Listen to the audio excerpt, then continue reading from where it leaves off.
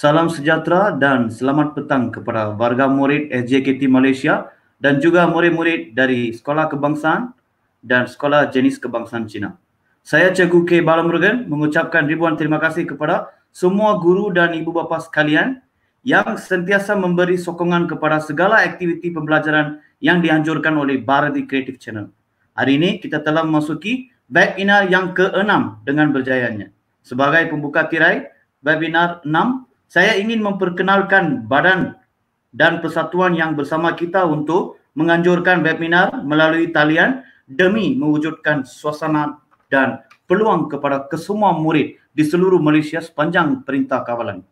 Saya sebagai pengurusi program ingin mengucapkan terima kasih kepada Pejabat Pendidikan Daerah Kuala Mudayan dan Persatuan Perkembangan Kreativiti Penulisan Penulisan Karya Tamil Malaysia Persatuan Guru Besar Sekolah Tamil Negeri Kedah dan rakan media online N Tamil Junior dan Manavar Kalai Ulagam. Mereka adalah penganjur bersama untuk menjayakan webinar kita sepanjang bulan Julai ini. Seterusnya saya ingin memperkenalkan penceramah kita pada petang ini. Ince Maran Chandran, guru bahasa Melayu terkenal.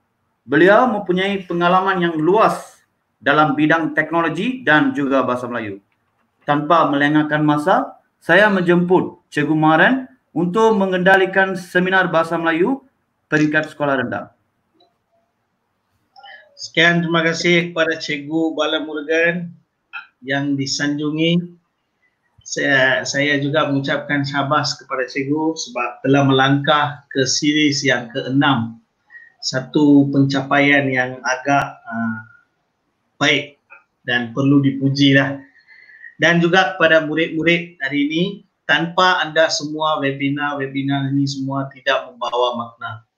Jadi penglibatan anda lah yang memberi impak yang besar dan memberi satu suntikan moral kepada guru dan juga kepada penganjur ceramah kita hari ini untuk sentiasa bersama-sama dengan murid dengan mengadakan kelas-kelas online macam ni. Jadi seperti Cikgu Bala Murugan bagi tahu nama saya Cikgu Maren Cantiran. Saya bertugas di sebuah sekolah tamil di Pulau Pinang, SJKT Jalan Sungai. Bagi murid-murid yang telah uh, melalui kelas saya sebelum ni, mereka kenallah saya ni siapa. Jadi bagi murid-murid yang baru hari ini datang dan ingin uh, bersuara dengan saya, uh, jadi kenallah saya. Okey murid, uh, Hari ini topik yang kita ambil adalah jenis-jenis ayat. Sebelum cikgu melangkah masuk ke dalam topik hari ini, uh, cikgu memberi peringatan.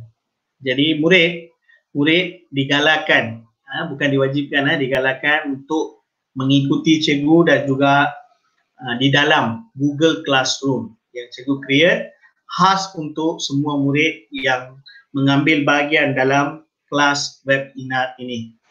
Jadi Google Classroom dia, kod dia adalah GEG, Google Classroom, GEG ya, kod dia adalah PRTS 3ZF.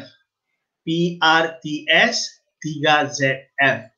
Okey, murid-murid bolehlah masuk dalam Google Classroom itu untuk mendapatkan bahan-bahan yang cikgu telah menyampaikan kepada murid dalam pelbagai webinar-webinar yang cikgu uh, mengambil bahagian. Jadi murid bolehlah mendapatkan serba sedikit ilmu tentang bahasa. Okey. Jadi saya percaya murid-murid bersedia untuk mengikuti cikgu. Jadi seperti cikgu bagi tahu tadi, topik pada petang ini yang cikgu ingin sentuh adalah jenis-jenis ayat. Okey. Kita dalam bidang komunikasi tanpa ayat tak adalah membawa makna perbualan kita. Kita dengan bahasa dan juga ayat tidak terpisah. Terdapat banyak kepentingan dalam ayat ini dan murid-murid juga perlu mengetahui jenis-jenis ayat untuk memastikan penggunaan bahasa yang betul dan berkesan. Jadi topik hari ini walaupun nampak eh, jenis-jenis ayat saja tetapi ia banyak membawa makna dan dapat memberi input yang lebih mendalam bagi murid-murid untuk menguasai uh, dalam bidang jenis-jenis ayat ni lebih mendalam. Dan juga jenis-jenis ayat ni akan membantu murid dari uh, dari segi untuk menjawab soalan-soalan dalam peperiksaan maupun latihan yang diberi oleh cikgu setelah membuka sekolah nanti. Okey. Pada hari pelajaran hari ini, murid-murid dapat mengenal pasti jenis-jenis ayat, menggunakan jenis-jenis ayat yang cikgu sampaikan nanti dengan betul, dan akhir sekali adalah menjawab soalan kuis yang disediakan. Okey, apa yang cikgu sediakan untuk anda semua hari ini adalah empat subtopik. Yang pertama adalah maksud ayat. Yang kedua adalah jenis-jenis ayat. Yang ketiga latihan pengukuhan dan yang keempat kesalahan rutin dan tip penggunaan. Bahagian inilah banyak uh, yang akan menyumbang banyak pada murid untuk uh, mengetahui apakah kesalahan-kesalahan rutin yang anda ataupun kita semualah ada tak kira murid ataupun guru tak kira lah saya ni cerdik ataupun saya ni kurang cerdik masih ramai yang membuat kesalahan-kesalahan ini dalam perbualan kita maupun aspek penulisan kita. Jadi bahagian yang nombor empat tu kesalahan rutin dan tip penggunaan juga cikgu, cikgu telah sediakan beberapa tip bagi memastikan murid dapat memantapkan penggunaan ayat dalam perbualan maupun dalam penulisan. Okey. Pertama, minta maaf kan, itu adalah maksud ayat, bukan maksud kata dia. Eh. Maksud ayat. Okey. Maksud ayat. Apa itu ayat? Okey. Ayat adalah satu perkataan atau lebih serangkai perkataan yang merupakan kesatuan yang membawa sesuatu maksud. Okey. Satu perkataan atau lebih serangkai perkataan yang membawa sesuatu maksud. Itulah merupakan maksud ayat. Yang kedua, Ayat ialah satu susunan perkataan yang terdiri daripada subjek dan predikat. Sub, subjek dan predikat ini sentiasa ditekankan oleh guru di sekolah. Apabila murid membina ayat, perlu dan mesti dan wajib memastikan penggunaan subjek yang betul dan penggunaan predikat dengan kata sendi nama, dengan keterangan yang betul. Okay. Jadi, ayat ni secara konklusinya ataupun kesimpulannya bila kita merumuskan apa itu ayat ayat ni merupakan sekumpulan perkataan ataupun serangkai perkataan yang kita menggunakan untuk memberi sesuatu maksud. Ayat juga seperti cikgu bagi tahu tadi terdiri daripada subjek dan predikat. Dan ayat juga terdiri daripada ayat aktif dan ayat pasif tetapi kedua-duanya tetap membawa maksud yang sama. Contohnya, eh, ramu menendang bola. Ramu menendang bola. Itu adalah ayat aktif. Kalau ayat tersebut dijadikan sebagai ayat pasif, bola itu ditendang oleh ramu. Kedua-dua ayat ni walaupun berbunyi berlainan, tetapi maksud yang dibawa oleh kedua-dua jenis ayat ni adalah maksud yang sama. Ini adalah maksud ayat. Ini bukan jenis ayat dah. Ini adalah maksud ayat. Okey. Jenis-jenis ayat. Apakah jenis-jenis ayat yang terdiri? Okey, terdapat empat jenis ayat. Apa yang kita belajar dari darjah satu hinggalah ke sekolah menengah di universiti pun eh. Inilah jenis-jenis ayat yang sering kita menggunakan tetapi penggunaannya dan juga tahap penggunaannya akan menjadi berbeza mengikut tahap yang kita menduduki. Sebagai contohnya, kalau murid tahun satu, penggunaan ayat penyatanya adalah terhad bagi kelompok dia saja. Kalau tahun enam, ayat penyata yang sama digunakan tetapi penggunanya akan jadi luas. Okey. So jenis-jenis ayat ada empat. Yang pertama adalah ayat penyata. Yang kedua adalah ayat seruan. Dan yang ketiga adalah ayat tanya. Dan akhir sekali adalah ayat perintah. Jangan risau murid. Ha, bila dah dengar empat ni macam nak apa sakit kepala, pening kan. Ha, jangan rasa kita muak sebab cikgu akan terangkan satu demi satu dengan contoh yang sesuai. Jadi jangan risau sangatlah. Ha, ini sebagai santapan saja. Santai-santai, cikgu mengajar, anda semua mendengar petang ni. Okey? Okey, yang pertama, ayat penyata. Apa tu ayat penyata? Ayat penyata ialah ayat yang diucapkan dengan maksud untuk menyatakan atau menerangkan sesuatu hal. Ha, itulah maksud ayat penyata. Iaitu kita menggunakan ayat tersebut untuk memperihalkan ataupun menerangkan sesuatu perkara ataupun sesuatu hal. Ayat penyata juga dikenali sebagai ayat berita ataupun ayat keterangan. Ayat penyata juga dikenali sebagai ayat berita ataupun keterangan. Kenapa cikgu tiba-tiba cikgu cakap ni ayat ni dikenali sebagai ayat berita ataupun ayat keterangan?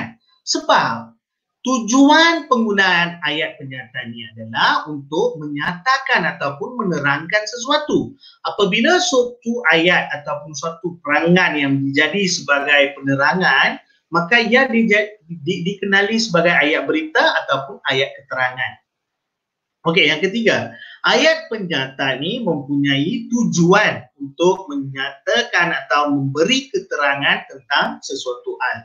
Pimai-pimai tentu saja. Walaupun tiga ayat yang cikgu bina ni masih maksud dan tujuan ayat penyata itu adalah satu saja iaitu untuk menyatakan atau menerangkan sesuatu perkara senang, mudah.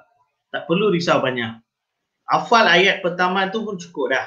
Ayat penyata ialah ayat yang diucapkan dengan maksud untuk menyatakan ataupun menerangkan sesuatu perkara. Okey, sekarang kita melihat pada contoh dia. Bila kita melihat contoh, baru kita akan dapat satu gambaran. Ah, baru saya faham, cikgu. Okey, tengok contoh ayat penyata. Norma tidak pergi ke sekolah pada hari ini. Ha, bila kita meneliti pada ayat tersebut, ayat itu membawa maksud ataupun menerangkan sesuatu perkara kepada kita. Iaitu ayat ini menerangkan tentang ada seorang murid bernama Norma tidak pergi ke sekolah. Ha, itulah keterangan dia ataupun itu merupakan satu berita kepada kita.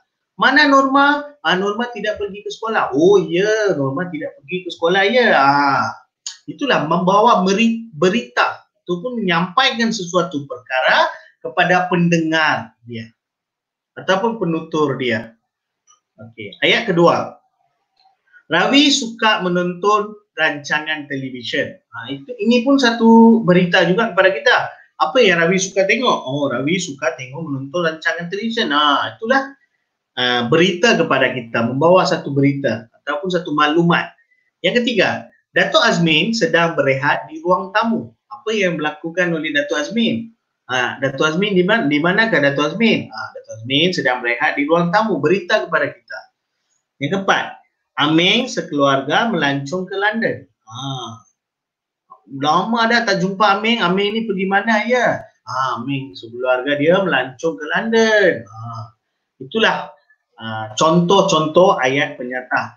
Jadi ayat penyata ni mudah saja iaitu untuk memberitahu atau menyatakan ataupun menerangkan sesuatu perkara kepada pendengarnya ataupun pembacanya maupun penuturnya. Okey? So, ingat murid, tujuan utama ayat pernyataan ini adalah untuk menyatakan atau memberi keterangan tentang sesuatu hal. Okey. Jenis yang kedua, iaitu ayat seruan. Okay. Ayat seruan ialah ayat yang digunakan untuk melahirkan perasaan seperti takut, marah, gembira, sakit, benci dan sebagainya. Cikgu ulang, ayat seruan ini adalah ayat yang digunakan untuk melahirkan perasaan. Setiap individu mempunyai perasaan. Jadi, ayat-ayat ini ataupun mod komunikasi ini digunakan untuk menunjukkan perasaan kita. Sebagai contohnya, katalah saya rasa sakit. Saya telah tertendang ataupun terkena batu apa kan ataupun terjatuh. Bagaimana kesakitan itu dapat saya tunjukkan dalam perbualan saya. Maka disitulah ayat seruan ini memainkan peranannya. Ha, faham tak? Katalah saya ni marah sangat apabila menu eh, Manchester United tak dapat piala tahun ini. Season ni dia tak dapat piala. Saya marah sangat sebagai penyokong Manchester United ni kan. Jadi macam mana, bagaimana gak saya akan menunjukkan perasaan kemarahan tersebut? Ha. Memanglah mimik muka kita nampak. Tetapi dari sudut komunikasi. Bagaimanakah saya akan sampaikan kemarahan tersebut kepada penutur ataupun kepada pendengar ataupun rakan saya yang sebelah itu bagaimana dia akan mengenali bahawa perasaan saya sekarang adalah marah ataupun perasaan saya sekarang adalah benci. Ha. Okey, ayat seruan ini juga didatangi dengan tanda seru. Okey, boleh nampak tanda seru tu? Ha, inilah tanda seru. Tanda seru biasanya diletakkan pada akhir ayat seruan. Apabila sudah ayat seruan, seujung itu ada tanda seru. Ayat seruan didahului oleh kata seru. Ha, ayat seru ni special sikit. Dia ada tanda seru, dia juga ada kata seru. Ha, kata seru tu apa? Ha, amboi. Wah. Eh. Oh. Aduh. Cis. Dan sebagainya. Ha, hari ini cikgu hanya bagi penerangan tentang jenis-jenis ayat saja dengan beri dengan beri uh, dengan beri beberapa contoh. Cikgu tak naklah mendalam sangat pada ayat seruan nanti kita ketinggalan pula ayat-ayat lain. Ha? So cikgu bagi satu muka lima saja bagi setiap jenis ayat ini. Okey, contoh ayat seruan. Ha, boleh melihat eh? Kita di setiap ayat ini mesti ada kata seru dengan tanda seru. Okey. Amboi, cantiknya gadis itu. Ha. Wah, mahalnya baju ini. Oh, aku lupa bawa wang hari ini. Cis, berani kamu pukul saya. Syabas, kamu telah menang.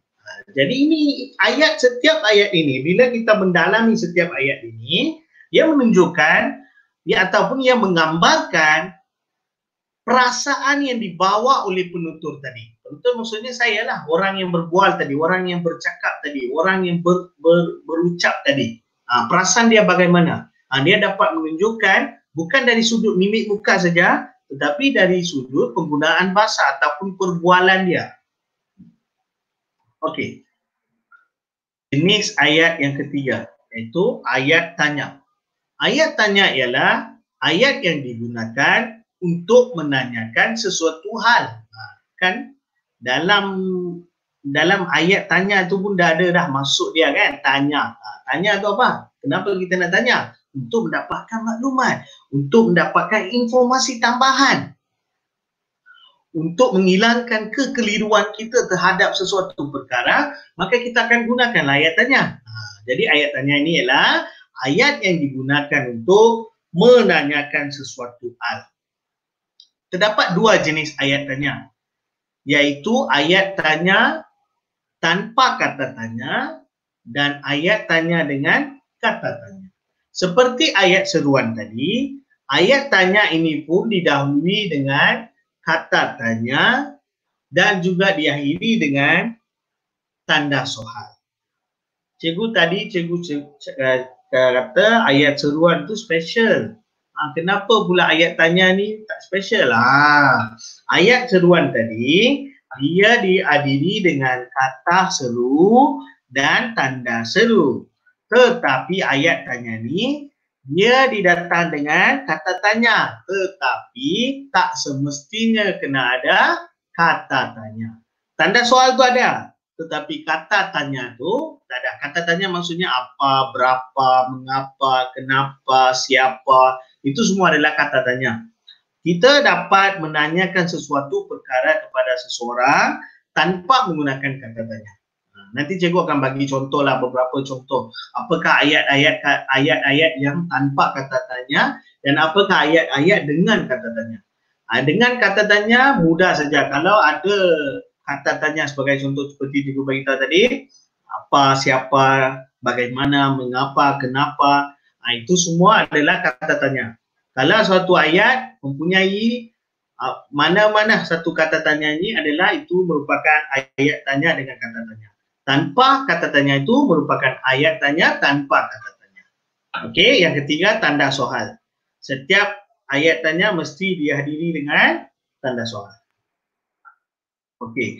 Ayat tanya tanpa kata tanya. Ayat tanya tanpa kata tanya adalah ayat yang diucapkan dengan meninggikan nada suara pada akhir penyataan. Dalam tulisan nada tanya ini ditandahi dengan tanda soal. Ini tanpa kata tanya. Okey, contoh tanpa kata tanya ni. Adik masih belum makan? Ah, nada suara pun akan jadi tinggi tetapi dihadiri dengan apa? Tanda soal. Kalau tak ada tanda soal, ayat itu akan jadi sebagai ayat penyata. Ha, itu akan jadi sebagai berita kepada kita ataupun sebagai pernyataan. Untuk menunjukkan ayat itu adalah ayat tanya, mesti wajib ada tanda soal. Hmm. Kalau tak ada tanda soal itu akan jadi apa? Itu akan jadi ayat penyata. Nah, macam ni contoh kalau kita buang tanda soal ni, adik masih belum makan. Nokta. Itu akan jadi satu penyataan. Itu akan jadi satu berita ataupun satu informasi ataupun satu maklumat kepada pendengarnya ataupun pembacanya. Jadi tanda soal inilah menunjukkan itu adalah ayat tanya. Jadi kita boleh bina ayat ayat tanya tanpa kata tanya. Macam ni tengok ayat pertama adik masih belum makan kan? Ada tanda soal. Tetapi kata tanya tak ada dah. Apa, siapa, bila, berapa, bagaimana, kenapa tak ada dah. Tapi masih ayat ni adalah ayat tanya. Kenapa? Sebabnya adalah ada tanda soal. Okey, yang kedua, pertandingan perbahasan itu akan diadakan minggu hadapan. Ha, ini adalah satu persoalan. Dia tak tanya pun bila ke pertandingan perbahasan itu akan diadakan. Tak tanya pun, tak ada pun kata tanya bila. Masih ayat ini dianggap sebagai ayat tanya disebabkan diakhiri dengan tanda soal. Jawapannya sama. Ha, pertandingan perbahasan itu akan diadakan minggu hadapan. Ya ataupun tidak. Ha, macam itulah. Okey, contoh ayat tanya dengan kata tanya. Yang tadi tanpa kata tanya, yang ini dengan kata tanya. Siapakah pemain bola sepak itu? Ha, siapakah pemain bola sepak itu?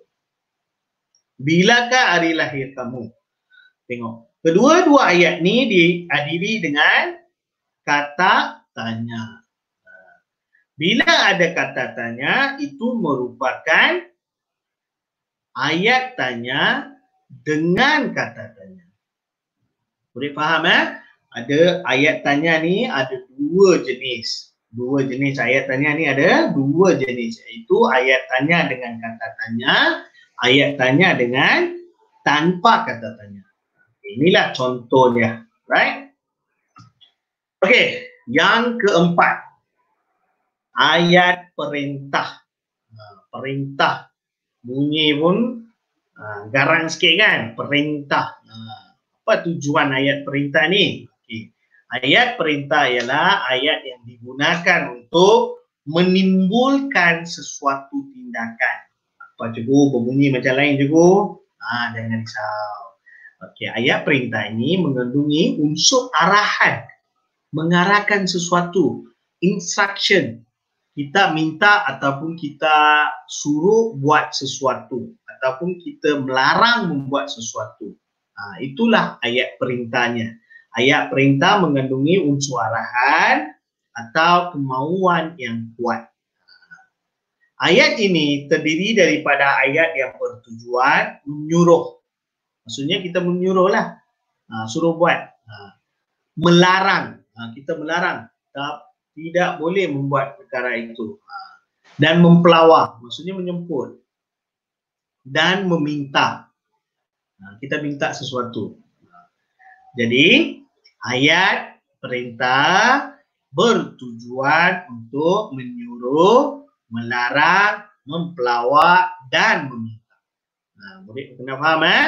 Ayat perintah adalah ayat yang digunakan untuk menimbulkan sesuatu tindakan ataupun yang mengandungi unsur arahan atau kemauan yang kuat. Okey. Seperti tadi, ayat tanya mempunyai dua jenis iaitu ayat tanya dengan kata tanya, ayat tanya tanpa kata tanya ayat perintah ni pun ada empat jenis iaitu ayat suruhan, ayat larangan, ayat silahan dan ayat permintaan. Baik, saya ulang ada empat jenis. Iaitu ayat suruhan iaitu menyuruh membuat supaya membuat sesuatu perkara, ayat larangan iaitu melarang daripada buat sesuatu perkara, ayat silahan iaitu mempelawak buat sesuatu. Dan ayat permintaan request kita meminta supaya melakukan sesuatu okey kalau kita masuk satu persatu jenis empat jenis ni ha, akan jadi tiga jam nanti jadi hari ini seperti cikgu bagi tahu tadi ini adalah satu muka mukadimah saja bagi setiap jenis ayat Okey, sekarang cikgu akan bagi contoh bagi empat jenis ayat ni. Okey, tengok ah. Ha? Ayat pertama, minumlah teh ini dahulu. Okey, itu adalah ayat suruhan. Kita menyuruh seorang itu supaya minum teh. Yang kedua, jangan petik bunga itu. Ha, jangan. Bila ada jangan, itu adalah ayat larangan. Maksudnya kita melarang ataupun kita mengalang daripada membuat sesuatu perkara ha, melarang kalau ayat larangan mesti dihadiri dengan jangan. Okey yang ketiga. Silalah pakai pelitup muka. Ha, sekarang musim covid yang 19 ni ha, jadilah amalan kepada kita kan. Ha, semua orang semua individu semua murid tak kira lah kita duduk mana pun mesti kena pakai pelitup muka supaya kita dapat uh, mengalang penularan wabak COVID-19 kan. Itu adalah ayat silahan. Bukan maksudnya kita diwajibkan ataupun kita dipaksa supaya pakai pelitup muka. Malah kerajaan maupun di mana-mana kita berada pun sebagai contohnya pasar raya ataupun di pejabat pos ataupun di pejabat-pejabat kerajaan maupun nanti jika murid dah masuk sekolah, masih guru-guru pun akan minta anda semua supaya pakai pelitup muka. Ha, jangan tanya apa tu pelitup muka. Sebab setiap hari semasa ada press conference, ha, menteri-menteri duk sebut ini juga dan juga kita dapat melihat dalam advertisement-advertisement kan dalam TV semua kan. Pelitup muka itu adalah face mask. Ha, itulah pelitup muka. So itu bukan uh, la, uh, apa ayat yang dia, dia minta kita wajib buat itu adalah satu ayat yang silahan. Silalah bila ada ayat silahan ataupun mempelawar mesti ada penggunaan kata sila. Silalah, uh, silalah ataupun jemputlah. Uh, jemput. Biasanya jemput kita akan jemput orang masuk ke suatu tempat. Bila sila, kita buat silahan supaya membuat sesuatu perkara. Okey, yang keempat. Tolong ambilkan saya secawan ayat. Ini adalah ayat permintaan. Ini adalah ayat permintaan, request. Kita meminta sesuatu daripada seseorang. Bukan mengarah, kita meminta. Meminta dan mengarah adalah lain. Okey, saya berharap murid telah memahami empat jenis ayat ini seperti cikgu bagi tahu tadi empat jenis ayat ni adalah uh, yang pertama okay, ayat penyata Yang kedua ayat seruan. Yang ketiga ayat tanya. Dan akhir sekali adalah ayat perintah. Okey, sekarang kita akan buat latihan. Latihan dalam bentuk quiz. Okey. Okey, sini ada 20 soalan, murid jawablah. Ha, cikgu, ataupun masuk dalam komen bos dan cikgu akan bacakan untuk anda semua. Alright, soalan pertama. Siapakah orang itu? Okey, sekarang soalannya adalah apakah jenis ayat ini? Adakah ayat tanya, ayat perintah, ayat penyata ataupun ayat seru? Cikgu bagi tahu tadi, jika ada tanda soal, jika ada tanda soal, Apakah jenis ayat itu? Adakah ayat perintah? Ah, ayat tanya. Okey. Soalan kedua. Aduh, sakitnya kaki saya. Okey. Murid tengok di sini ada tanda seru dan depan depan ayat juga ada apa? Kata seru. Ini semua adalah kata kunci untuk murid untuk meneliti betul-betul dan mencari ataupun mendapatkan jawapan yang tepat sekali. Bila dah ada tanda seru, itu adalah ayat ayat apa? Ha, cuba jadi ayat tanya. Ayat tanya mesti ada tanda soal. Kalau ada tanda seru, apa jawapan dia? Ha, jawapannya adalah ayat seru. Siapa jawab dengan betul? Ha, Bawani betul. Santi betul. Danish betul. Ha, ramai ya. Ramai yang betul. Okey, soalan ketiga. Rumah saya terletak di kampung Selandang. Ha, tengok. Cuba baca ayat ni betul-betul. Rumah saya terletak di kampung Selandang. Sini ujung ayat dia ada nokta. Jadi bukanlah ayat tanya. Nokta ada.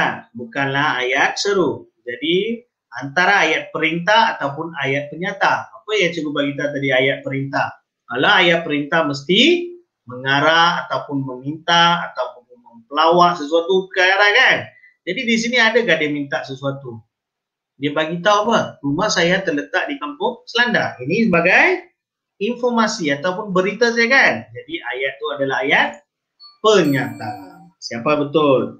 Oh gila Wani betul. Divagar betul. Winodan betul. Rajesh betul. Bagus, ramai yang betul. Okey, soalan keempat. Berapa jeniskah kuih raya kamu pada tahun ini? Ha, ni. Ada kata kuncinya. Apa kata kunci tu? Iaitu tanda soal dan juga depan ayat ni ada apa? Kata tanya. Jadi jawapannya apa? Ha, saya bagi ruang bagi murid. Ha, cuba jawab. Apa jawapan tu? Apa jawapan? Soalan empat. Right. Okey, ramai sudah jawab. Eh? Jawapannya adalah A. Ayat tanya. Parameswari. Betul. Danis. Betul. Bijak. Bijak anak murid saya semua. Eh? Desigan. Betul. Okey, soalan lima. Tolong padam suis lampu itu jika kamu ingin keluar. Okey, tengok ujung ayat. Ada nokta. Kalau tak ada tanda soal, mestilah bukannya ayat tanya. Okey. Kalau tak ada tanda seru, mestilah bukannya ayat seru. Jadi antara ayat perintah ataupun ayat penyata kan? Okey, di sini kita tengok. Ada perkataan ataupun kata satu. Apa tu? Tolong. Ha, kita meminta kan? Ha, meminta sesuatu. Jadi apa tu ayatnya? Ayat perintah. Betul. Lechumi. Betul. Okey. Jadi. Oh ramai yang bagi betul jawapannya. Samita. Darwin. Nirmala. Ha, Okey. Bagus. Alright. Jadi soalan yang keenam sekarang. Kamu puasa penuh atau tidak tahun ini? Ha. Bila kita meneliti ayat ni. Adakah ayat ni terdapat kata tanya? Ada? Tak ada. Jadi ini adalah ayat apa? Tetapi ada tanda soal. Bila ada tanda soal, pejam mata saja mesti jawapannya adalah ayat tanya. Tetapi ini adalah ayat tanya tanpa kata tanya sebab di sini tak ada kata tanya. Okey. Dan soalan yang ketujuh. Ah betul, ramai yang betul ah. Ha? Ayat tanya Krutika, Tivanis, Tri Punita, ah betul Arsin, Samita, Sanjay Dev, Kogunan, Kogilawani, semua jawapan betul. Okey, soalan tujuh. Kampung ayah saya terletak di Lahadatuk, Sabah. Nah, tengok ni. Kampung ayah saya terletak di Lahadatuk, Sabah. Nah, ini apa ni? Ini adalah berita ataupun informasi kepada kita. Jadi apakah jenis ayat yang biasanya mendatangkan ataupun meletakkan informasi ataupun maklumat? Ha, contoh kata kunci kita. Yang pertama nokta. Bukan ayat tanya, bukan ayat seru. Jadi ayat perintah ataupun ayat penyata. Ini adalah ayat penyata. Betul. Okey, soalan seterusnya. Wah, cantiknya lampu itu. Okey, wah itu adalah kata seru. Bila kita baca ayat ni, ayat ni mempamerkan ataupun menggambarkan perasaan kita apabila kita dah melihat sesuatu yang cantik, yang indah, kita bagi tahu? Wah, kan? Jadi ayat seru. Okey, soalan yang ke-9. Mengapakah kamu tidak berpuasa hari ini? Ha, tengok, mengapakah ini adalah salah satu kata tanya. Dan soal ujung ujung ayat ni tengok ada apa tanda ni tanda soal bila ada tanda soal mestilah ayatnya ada tanya okay. dan soalan yang ke-10 jangan makan atau minum selepas waktu subuh baca ayat dengan betul jangan makan atau minum selepas waktu subuh Tengok, walaupun ayat ini membawa satu berita, tetapi terdapat suatu perkataan yang khas digunakan. Apa tu perkataan tersebut? Ah, jangan. Bila kita akan menggunakan jangan? Untuk melarang dari melakukan sesuatu. Okey, maka walaupun tak ada ah ni ni ni apa? Ah ni tak ada tiada tanda seru, tiada tanda tanya. Jadi antara ayat penyata ataupun ayat perintah. Apabila ada jangan, mestilah ayatnya ayat perintah. Okey murid, syabas. Saya ucapkan kepada semua murid. Ramai yang dapat jawapan-jawapan yang betul. Ha, cikgu ada juga tertinggal nama tadi, tak dapat menyebut nama anda semua sebab ramai sangat yang aktif memberi jawapan. Jadi cikgu bagi syabas kepada semua murid. Okey, sekarang dalam set soalan ini terdapat 20 soalan. Tetapi 10 soalan cikgu telah bincang dan baki 10 soalan ni cikgu bagi kepada anda untuk buat nanti setelah tamat uh, sesi pembelajaran kita hari ini. Dan set soalan ini telah pun cikgu memuat naikkan dalam Google Classroom yang cikgu bagi tadi.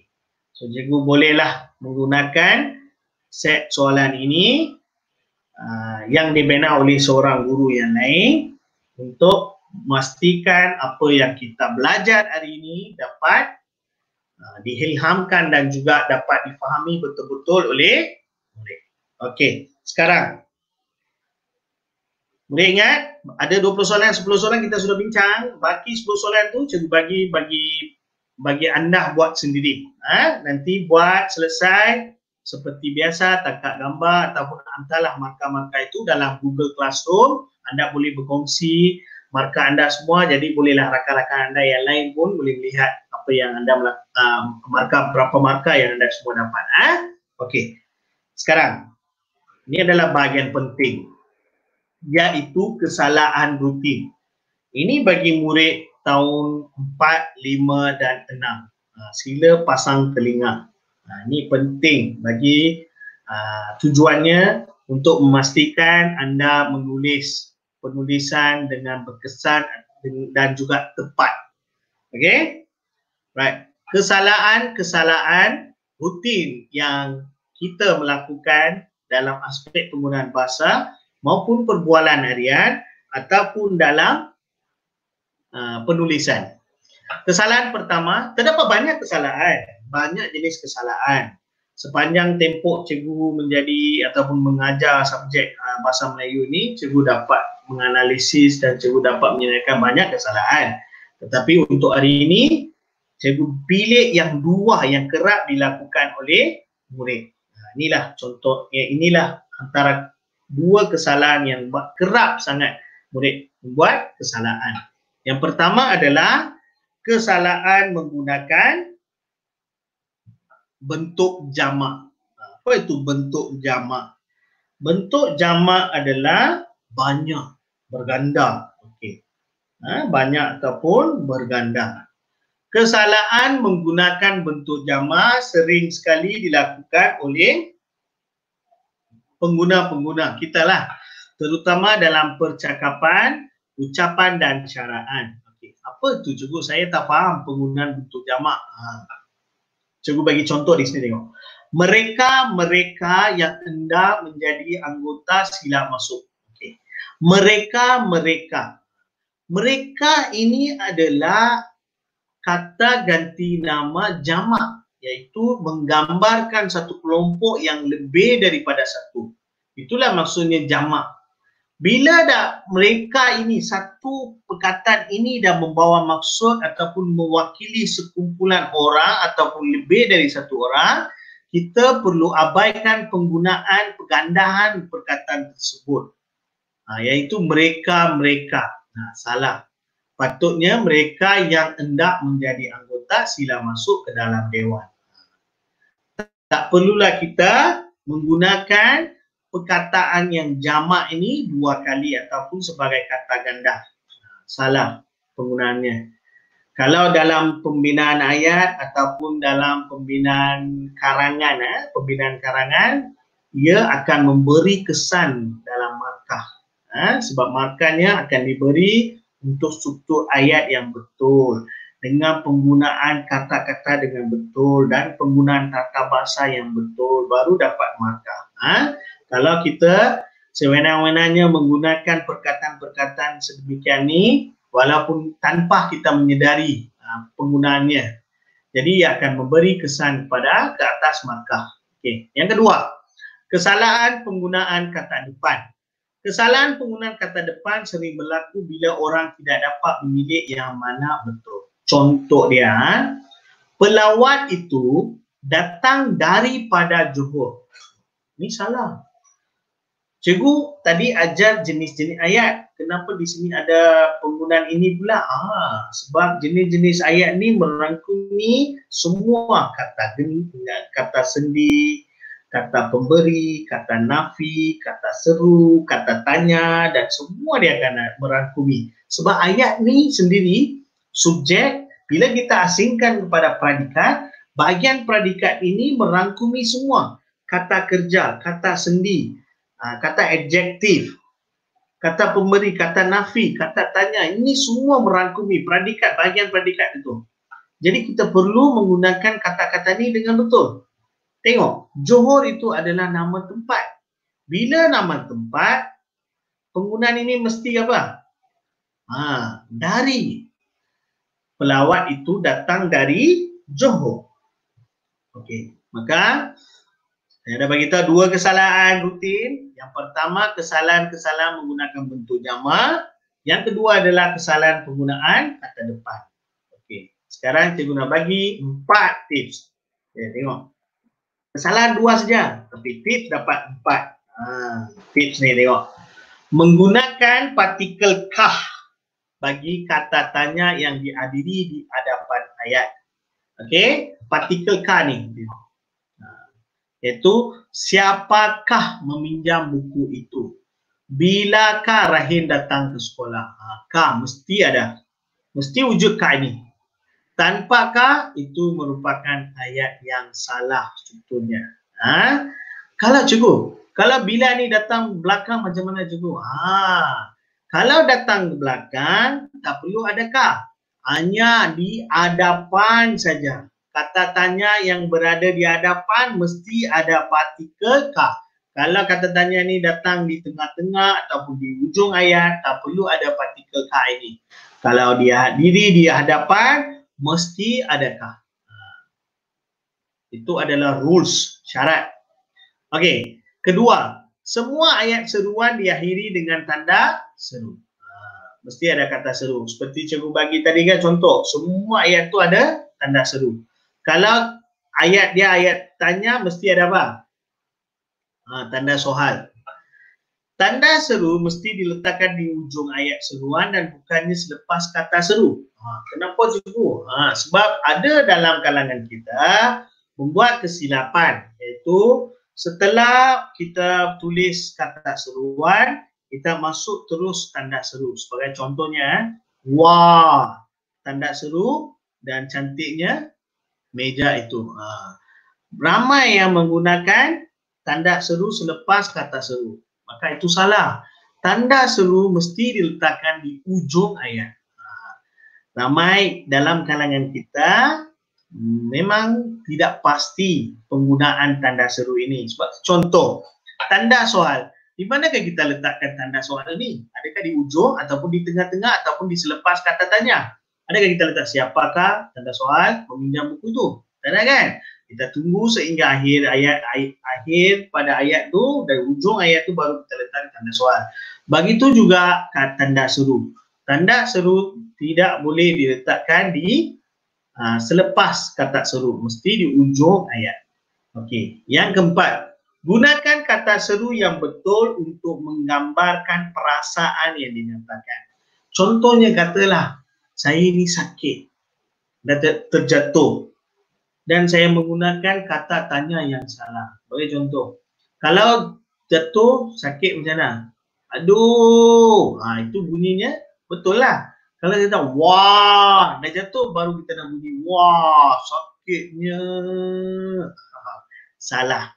Jadi perlulah menggunakan kata seru yang betul untuk menggambarkan perasaan. Okay, murid, cikgu ulang dua kesalahan iaitu kesalahan menggunakan bentuk jama, yang kedua kesalahan penggunaan kata depan, ha, empat tips yang penting, tip ni penting iaitu penggunaan tepat. Gunakan partikel K bagi kata tanya yang dihadiri di hadapan ayat. Semua ayat seruan diakhiri dengan tanda seru. Tanda seru tidak boleh diletakkan selepas kata seru. Dan yang keempat, gunakan kata seru yang betul untuk menggambarkan perasaan. Okey. Okey murid, saya harap murid-murid memahami secara keseluruhan apa yang cikgu bincangkan sekian lama ini. Jadi jangan lupa untuk untuk membuat latihan yang cikgu bekalkan dalam Google Classroom. Ha, cikgu bagi tahu tadi kan? Uh, Google Classroom itu cikgu undang ha, di Google Classroom. Okey, Google Classroom. Kod Google Classroom adalah PRTS 3ZF PRTS 3ZF. Sekarang pun cikgu dah terima banyak komen-komen, banyak mesej dalam Google Classroom kata murid dah buat latihan-latihan tu semua kan. Okey.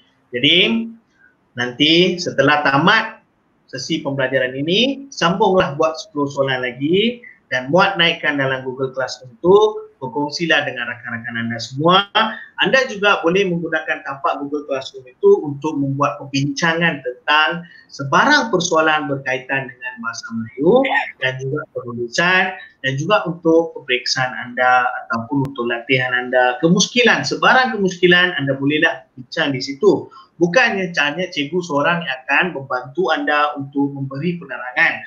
Malah rakan-rakan anda yang ada di situ juga boleh turut bantu anda. Jadi itu akan menjadi sebagai satu tapak perkongsian ilmu. Tak perlulah risau, tak perlulah tunggu sehingga cikgu datang, cikgu jawab. Nanti kalau anda soal, ada rakan yang telah mengetahui tentang apa yang soalan yang anda tujukan itu, nanti dia akan bantu anda lah. Okay, so itu saja untuk hari ini tentang jenis-jenis ayat uh, bagi uh, murid-murid yang duduk dan mendengar ceramah cikgu hari ini.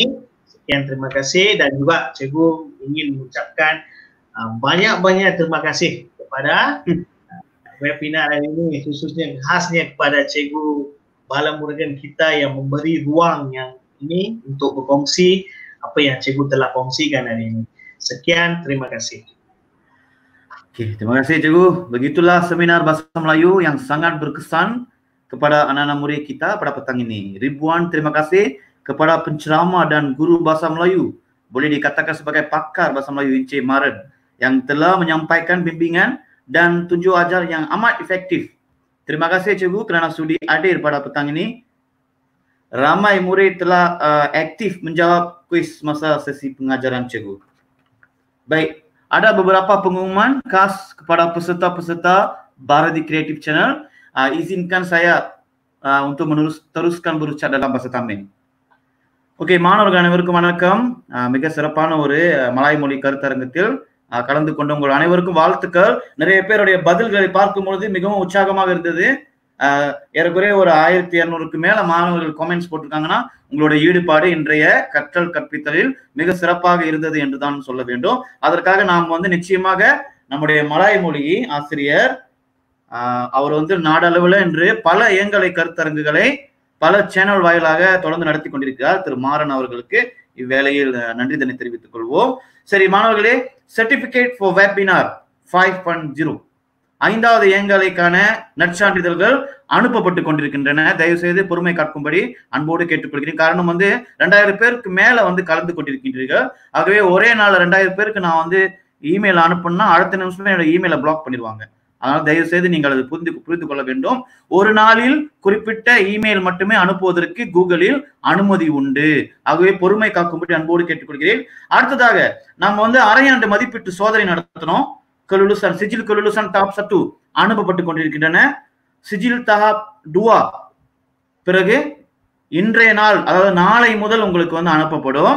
ஆகவே எல்லோருக்கும் வந்து வரிசையாக நீங்கள் பதிந்து கொண்டதன் அந்த register list அதற்கேற்ப உங்களுக்கு நிச்சயமாக நற்சான்றிதழ்கள் அனுப்பப்படும். உங்களோட நற்சான்றிதழ் உங்களை வந்து சேரும். ஆகவே கவலை வேண்டாம். அதே போல இந்த வெபினார் ஆறு புள்ளி சுழியம் இப்பொழுது நடந்து கொண்டிருக்கும் ஆறாவது ஏங்கலை கருத்தரங்கில் நிறைய பேர் வந்து முன்பதிவு இல்லையா என்று கேட்டார்கள்.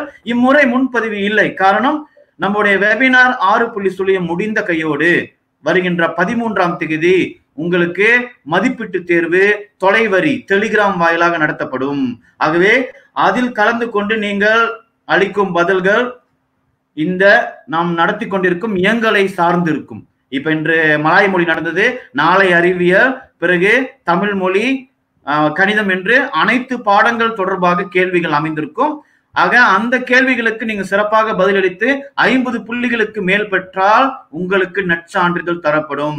காரணம் நற்சான்றிதழை வெறுமனே கொடுக்காமல் ஒரு மதிப்பீட்டு தேர்வு வைத்து நீங்கள் உண்மையிலேயே நம்மளுடைய கருத்தரங்கில் கலந்து கொண்டதன் விளைவாக உங்களுடைய புரிதலை நாங்கள் பரிசோதித்து உங்களுக்கு நற்சான்றிதழ் கொடுப்பதில் அந்த நற்சான்றிதழுக்கு ஒரு மதிப்பு இருக்கும் என்று நம்புகின்றேன்.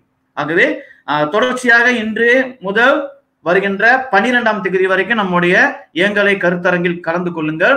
நிச்சயமாக உங்களுக்கு நற்சான்றிதழ் கிடைக்கும். ஆகவே இந்த ஆறாவது ஏங்கலை கருத்தரங்கத்திற்கு முன்பதிவு தேவையில்லை என்பதை தயவு செய்து கருத்தில் கொள்ளும்படி கேட்டுக்கொள்கிறேன். நாளை இதே ஆறு முப்பது மணிக்கு அறிவியல் பாடம் சயின்ஸ் நடைபெறும். மீண்டும் எங்களோட வந்து கலந்து கொள்ளுங்கள். இதுக்கு முன்பதிவு இல்லை நீங்கள் உங்களுடைய கருத்தாளர் பெட்டி அதாவது கமெண்ட் பாக்ஸ்ல உங்களுடைய பெயர் பள்ளி பெயரை பதிவிட்டால் போதும். அதுவே ஒரு பதிவாக ஏற்றுக்கொள்ளப்படும்.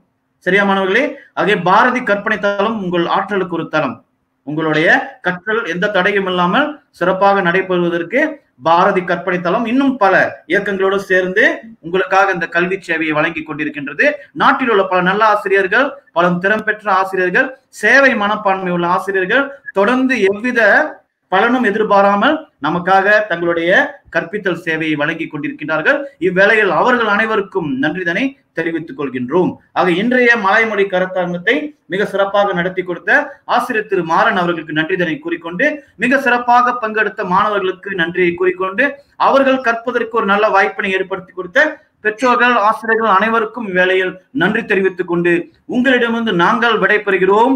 எப்பொழுதுமே கல்வி கற்போம். தமிழ் பள்ளியை மேம்படுத்துவோம் தமிழ் கல்வியை மேம்படுத்துவோம் தமிழோடு உயர்வோம். மீண்டும் சந்திப்போம். நன்றி வணக்கம்.